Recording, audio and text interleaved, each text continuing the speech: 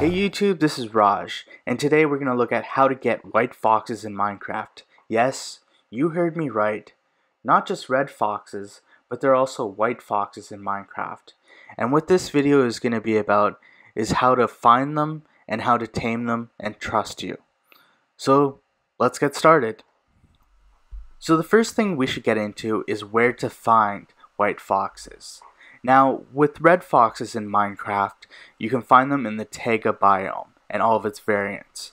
Well, the white fox is basically the polar opposite, so it shows up in snowy taiga.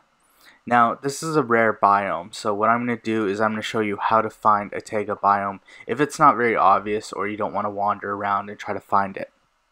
Okay, so if you want to look for a biome, the easiest site I find is Chunkbase. So if you go to apps here, and then you go to biome finder and then you just hit in what your seed is so it finds the biomes and then you type in you filter the biomes and you put in which ones you want so you would want snowy taiga snowy taiga hills and snowy taiga mountains and if you look you have to zoom out a bit. But you can see there's a bunch up here. There's some over here, some over here, and it'll give you coordinates so that you can walk to the closest one. So the closest one would be this one. Uh, negative 660 and negative 823. So that should help you find the taiga unless you want to look for it. So before we get into whole taming and trusting of uh, white foxes, we have to go into a couple things about their behavior because there's some key things you need to know before you get to that. So the first thing to know is that white foxes startle very easily. So if you're just trying to walk up to one, they'll run away. The easiest thing to do is to just crouch towards them because then they'll uh, then you can usually corral them into what you need to do. Also, they sleep during the day, so if you're looking for them and you're having issues, the best spot to look is under trees because they usually look for somewhere where there's less light. And it's also a bad idea to do this at night because uh, foxes are a lot more active. So at, at day, at least they're like sleeping, so you might be able to sneak up on them. Also, they're usually prey on uh, chickens and rabbits, so they'll like just dart towards those animals. So if you're not careful uh, while you're trying to get them, they'll just like jump and run. So you don't want like uh, a, an enclosure where they're too close, like chickens and rabbits. So just be careful about that. And also be very careful about wolves because wolves will attack foxes. So if you're trying to, you know, have them on leads or leading them somewhere, uh, a wolf can like come out of nowhere and just like obliterate both of them. So you have to be very careful about wolves. I would just suggest like killing any wolves you see while you're in the snowy taiga because it can it it could be a bad result if they attack you.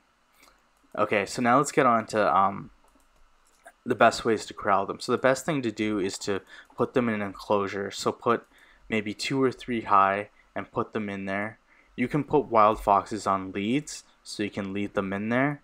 You can also put them in boats. So this is basically one of the oldest tricks in Minecraft. If you you can get any animal into a boat and then you can just row across land and then you can use pistons to push it up push up the boat until you get to the right height get the boat into the enclosure and then you can break the boat so that's the easiest way to corral them into one area with with leads, boats, and uh, just waiting while they're sleeping and then building an enclosure around them. So we should probably talk about how to tame uh, foxes. I uh, the word tame is not a good word to use in this situation. It's actually trust is the right word. So it's similar to how uh, wolves are and cats are. So basically, wild foxes cannot trust you at all. So you have to do what you have to do is you have to get two wild foxes to breed. And how you get them to breed is you have to get sweet berries. So once you get them to breed, that baby fox that they produce will trust you. And one thing to really consider in this whole thing when you're planning it out is that if you startle the adult fox and the baby is nearby, it'll startle the baby fox. So what you want to do is make sure that they're enclosed so that if you're trying to wrangle them, they won't escape. And once you have the the baby fox, then you can just put a lead on it and lead it back to where you want to go, and it'll trust you, and you'll have it all tamed. And the last thing to really consider about this whole equation is that if you have one white fox and you have red foxes, if you try to breed those together, there's a 50% chance they'll either be red or white. So I hope that helps you guys get some white foxes. And uh, now when your friends are talking about how they got red foxes and they got this cool new thing, you can be like, well, that's too bad because uh, I got some white foxes. And the, your buddy will be like, what? There's white foxes. And you'll be like, yeah, I got white foxes. And they'll be like, mind blown.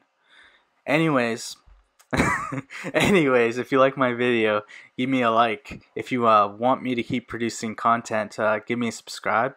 I'd love to hear comments about what content you guys want me to produce.